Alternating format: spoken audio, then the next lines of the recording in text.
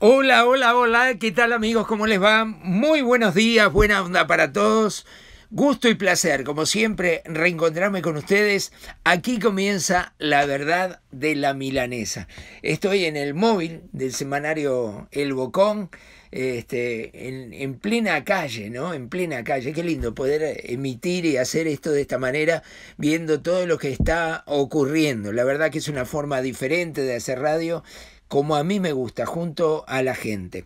Bueno, eh, hoy hay muchos temas para tratar, sin duda que hay muchos, pero muchos temas para tratar. Seguramente lo de Antel, eh, Ansel, los tiene a todos hartos, ¿no? Cómo cambia un contrato, cómo eh, cambia todas las normas sin avisar a nadie a partir del primero y todavía nos caga, todavía nos jode a todos. Dieron un paso atrás, creo que dieron una marcha atrás violenta. Yo no sé si lo hicieron de tarados o lo hicieron de vivo, ¿no? Uno no sabe. Lo cierto es que se mandaron una metida de pata que no tiene nombre. Eh, yo tengo por acá, que quería de alguna manera que ustedes lo escuchen, lo que le decía las funcionarias de Antel cuando llamaban la gente furiosa a eh, decir lo que estaba pasando. Escúchenlo, póngalo Ramón. Lo que cambió es lo siguiente, usted hasta el 31 de diciembre se le acreditaba el saldo, y era un saldo en pesos para llamadas y mensajes, y aparte un, unos, este, un paquete de gigas para navegar en Internet. Ahora a partir del 1 de enero, ante lo que dispuso es que todo esté dentro del mismo paquete. ¿sí? A usted se le acredita la totalidad del plan en pesos, ¿sí? y a medida que lo va utilizando, ya sea llamadas o Internet, se va descontando. Bien. Esa es la nueva modalidad de consumo que hay. Ahora vemos en su plan. Eh, tiene el Vera 2. Con este plan, además de que tuvo el, hubo el aumento de, enero, no por la por las tarifas, le quedó 1069 el plan. Perfecto. Ahora le hago una consulta. O sea, yo ahora, eh, ¿cuánto me cuánto me sale a mí el, el megabyte consumido de esos mil pesos? De esos mil, el mega vale 0,095 centésimos. Bien. O sea que 97 pesos un giga de navegación. Perfecto. Entonces perdí la mitad de los beneficios que tenía, entre comillas, porque técnicamente yo antes tenía 10 gigabytes más 700 minutos, ¿era? Exacto, 790. Y ahora tengo solo, o sea, si yo consumo...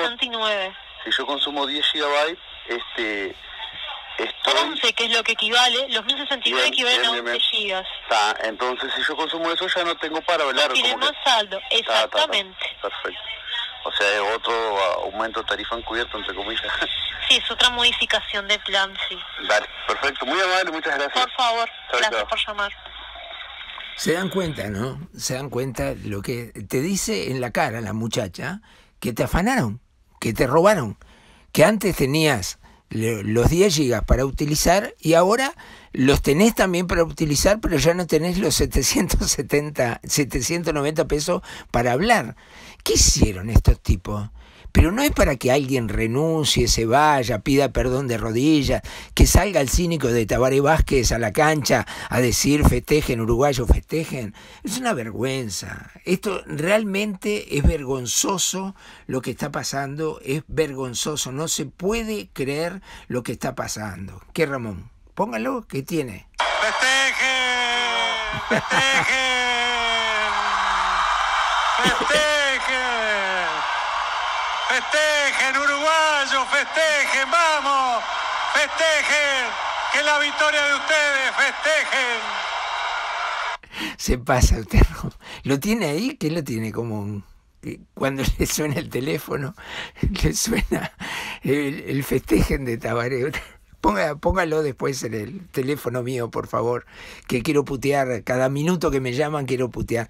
Pero la verdad, la verdad eh, es que uno eh, analiza, yo analizo muchísimo todo, miro todo lo que está pasando a mi alrededor y no puedo creer, sinceramente, lo que está pasando. Y no puedo creer lo que está pasando con la oposición nuestra, que somos nosotros, porque nosotros somos opositores, los uruguayos, normales, comunes, que nos quejamos porque nos encajan un aumento de todo, que sube la nasta un 10%. ¿Y, ¿Y cómo nos quejamos? ¿Quién nos representa?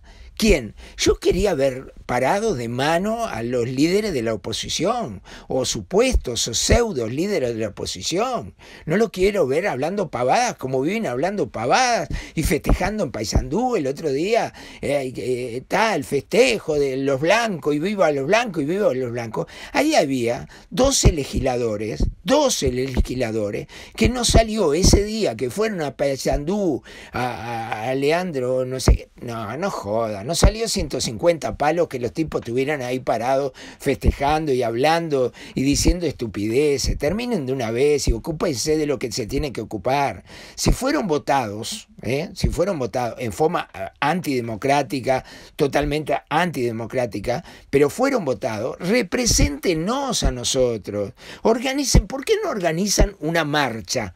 Digo yo, ¿por qué no ellos, ellos? Vamos todos, ¿eh? Miren que vamos todos, organicen una marcha eh, sin color político, toda la oposición, diga, vamos a ir a 18 de julio y a todas las plazas de, de, de las capitales departamentales de todo el país a protestar por los tarifas. No piden nada, no se juegan nunca, hacen la plancha, porque es, son como le digo siempre, juegan a la conga, mientras uno roba, el otro espera. No jodan más, no puede ser así. Bueno, este, eh, ya lo tiene pronto Ramón, este colega nuestro, este, que yo no lo conocía, ahora se está haciendo famoso por los videos que hace, y la verdad que dice cosas muy bien dichas, sin duda. Eh, habla también de Antel el primero. Lo tiene Ramón, póngalo. Hola a todos, gracias por estar del otro lado, por compartir los videos y sobre todo por comentar abajo. No iba a subir videos hasta después del 5 porque dije, bueno, tenemos vacaciones, todo tranquilo. Pero no solo que nos meten el tarifazo que arrancó desde hoy primero, sino que además el Estado una y otra vez se encarga de sentarnos a todos los uruguayos. ¿Por qué es lo que hacen? Sentarnos lisa y llanamente, porque es la única forma de explicarlo. Para vos que tenés Movistar, para vos que tenés claro, no pasa nada. Pero para el que tiene Antel, lo están sentando también. ¿Por qué? Porque Andrés Tolosa, y me animo a decir el inútil de Andrés Tolosa, porque las declaraciones que da, y espero este, que alguno me comente abajo si estoy equivocado, eh, manifiesta y dice de que, bueno, a partir de ahora, señores, le estamos dando una ventaja a todos ustedes. No solo le estamos rompiendo el, sino que le estamos dando una ventaja. Antes usted tenía un contrato de mil pesos y además tenía 10 gigas en el contrato. Bueno, señor, a partir de ahora nos, nos quedamos con esos 10 gigas y va a quedar con el contrato de mil pesos. Y de esos mil pesos le vamos a descontar los gigas que usted consume. ¿Por qué? Porque sí, porque se nos antoja a nosotros, porque así es el Estado, y así está trabajando y así está operando el Estado uruguayo. Y esta vez la empresa de todos, Antel de todos. Me parece que no es de todos. Porque si hay algún agujero que quieren tapar, si hay alguna cosa que quieren esconder, no es la forma cagarse en los uruguayos no es la forma. ¿Hasta cuándo vamos a aguantar a estos inútiles que estén Eso. dominando el ¿Hasta país? cuándo? ¿Hasta cuándo? Eso. ¿Hasta cuándo? ¿Hasta No cuándo? puede ser que como sociedad aguantemos a estos tipos. No podemos ser tan cornudos de aguantar esto, porque directamente te están metiendo la mano en el bolsillo a vos. A mí no me está pasando nada porque yo tengo Movistar, pero a todos los que tienen Antel los están sentando en la vara. A todos, ¿eh? A todos. Somos guampudos los uruguayos.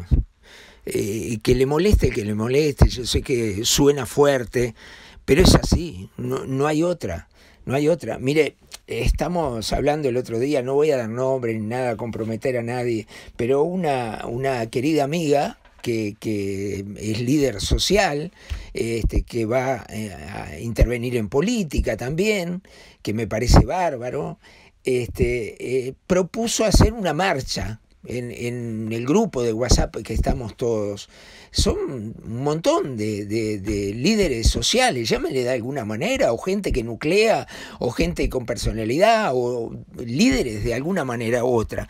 Y propuso, vamos a hacer una marcha el 17 de enero, creo que era, vamos a hacer una marcha, eh, vamos a, todos por estas tarifazos, no podemos dejar pasar los aumentos en forma silenciosa.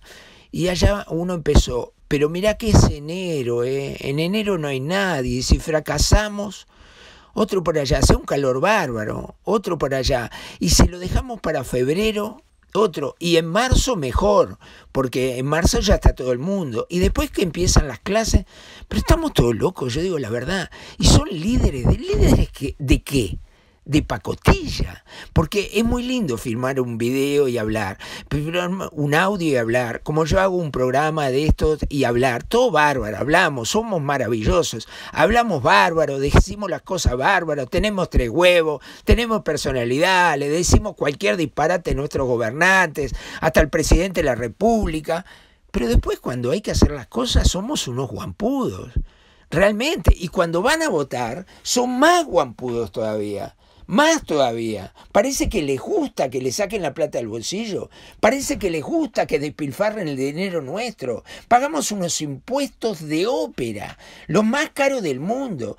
Puede ser, a ver, puede ser, y esto es real, esto es verdad, esto está comprobado, que este pequeño país, Uruguay, de 3 millones y medio de habitantes, perdido en el mundo, pague, tenga que pagar los uruguayos, sus pobladores, sus automovilistas, la nafta al precio más cara del mundo. No hay en el mundo un solo país, un solo país en el mundo que tenga el precio de la nafta a lo que lo tenemos nosotros.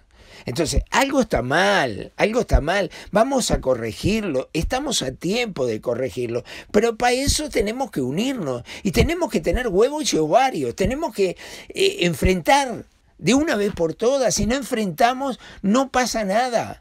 No pasa nada. De acá a dos años va a haber opciones de votar. Sí, quizás. Y le estemos pidiendo el voto para el movimiento Basta Ya. Quizás, sí, es posible. Y ahí puede empezar una vía de solución como pueden ser otras. Pero antes, ¿qué hacemos? ¿Nos miramos? Hablamos en internet, metemos un Twitter, yo metí un Facebook, tengo tantos seguidores en Facebook, tengo tantos en Twitter, mirá lo que me dijeron, fíjate lo que hice, somos héroes de redes sociales, salgamos de las redes sociales y vamos a meternos en la realidad, en el pavimento, en la calle, en las veredas, pacíficamente, en hacer cartelería, carteles, decirles basta. Vamos a, la, frente a la casa de Astori, acá en Malvin, cerca de donde yo estoy.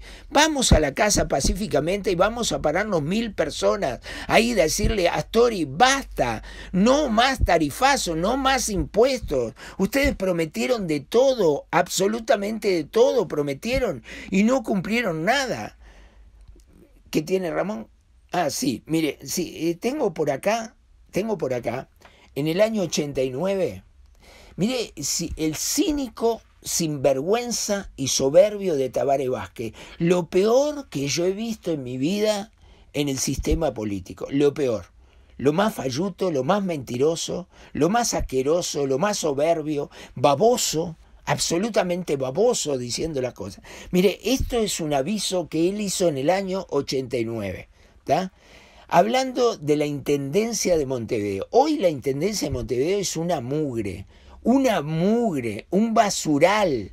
Es impresionante todo esto. Mire lo que decía él y lo que prometía él para que lo voten como intendente de Montevideo. Acá está. ¿Se acuerda de hace cinco años? ¿Qué le dijeron de la limpieza? Hoy las promesas son desagües tapados, aguas contaminadas, basurales en la esquina de su casa o en su propia puerta. Esto no se arregla con promesas se arregla teniendo las manos limpias y la voluntad de hacerlo. ¿Qué hijo de puta? Los que prometieron y no cumplieron perdieron la oportunidad. Ahora nos toca a nosotros y ya estamos trabajando para eso. Delo por hecho. ¿Se da cuenta? Pero ¿se, dieron cuenta lo que, lo que pasó? ¿Lo que dijo este hombre? A ver, Ramoncito, si lo tiene más adelante, a ver. ¿Se puede bajar el precio del boleto? Se puede. ¿Quiere que le diga cómo? Eliminando los impuestos que graban el transporte cobrando los pases libres a los organismos que los soliciten en vez de pagarlos el usuario, como se hace ahora, subsidiando centralmente los boletos de estudiantes y jubilados. Somos Juan Siempre hay una primera vez. El boleto puede bajar un 40%. ¿Te das cuenta? Y ya estamos trabajando para eso. Delo por hecho. Delo por hecho. Delo por hecho, nos decía.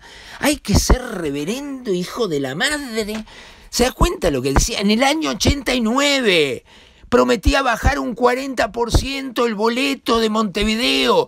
En los últimos dos años, nada más, dos años, subió un 37,5% el boleto en Montevideo. Y él es el presidente de la República y él lo subió en los 10 años que estuvo, más del 50% el precio del boleto. Pero estamos todos locos, no tenemos memoria, somos estúpidos.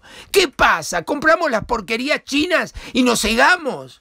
Ya no nos damos cuenta de la realidad. Hay que unirse todos, todos los que no estamos de acuerdo. Tenemos que unirnos y salir a la calle. Tenemos que convocar y salir a la calle. No tenemos que tener miedo de salir a la calle pacíficamente. Hacemos cartelitos, decimos que lo que queremos estratégicamente en la casa de Astori, en la casa de Vázquez. Terminemos de una vez por todas. Nos toman el pelo en forma absolutamente permanente.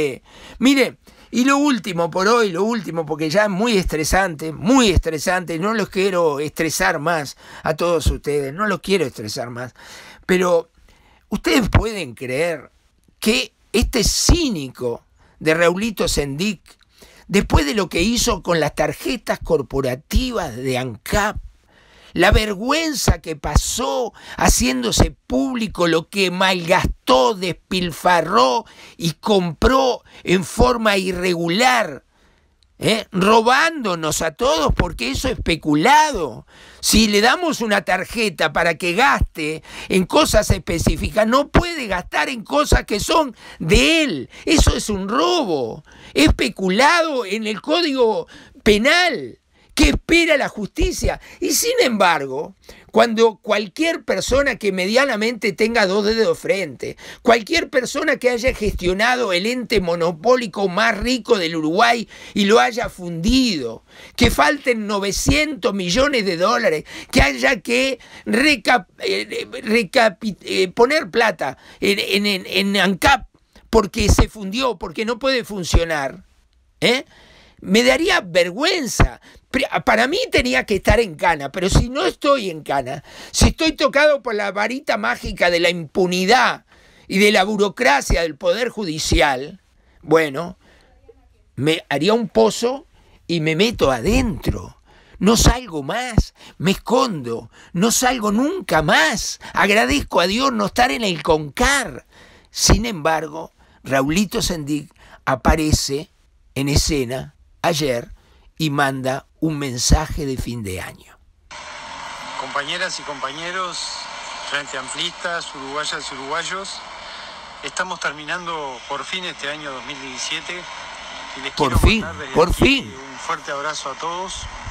Decirles que tenemos por delante un año que está lleno de desafíos. La cárcel, para vos. Eh, profundizar en nuestras definiciones, en la construcción de una mejor herramienta construcción. Desde la 11 que contribuya a la mayor unidad del Frente Amplio y hacer posible que el Frente Amplio sea la herramienta verdadera de transformación del país. Si serán unidos que no te mandaron en cana, ¿no? Tenemos el desafío de profundizar el proyecto de izquierda en el Uruguay. Proyecto de izquierda, nos hicieron mierda. Aquellos uruguayos que todavía no han llegado a alcanzar la plena felicidad la alcancen. ¿Cómo la vamos a alcanzar? ¿Qué hijo de puta? Dios mío. Y para eso hay que trabajar muy duro en este año llenos de fuerza, de energía, de esperanza, fuerza, de energía, de unidad y de construcción para que sea posible que esa felicidad se alcance. Les mando un abrazo enorme a todos.